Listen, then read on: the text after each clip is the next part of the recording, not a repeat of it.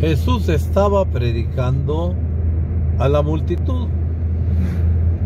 Cuando alguien llega a interrumpirle diciendo que ahí afuera estaba su madre y sus hermanos y que querían hablar con él.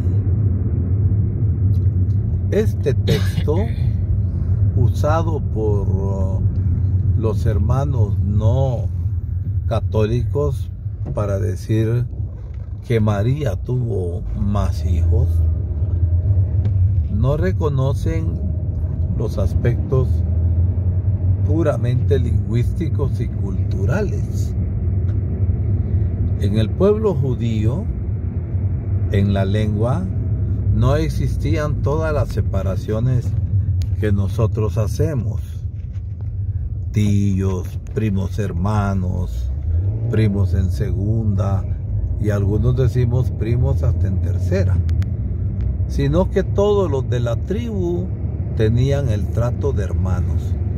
Pero ese disco rayado de los hermanos no católicos no nos interesa.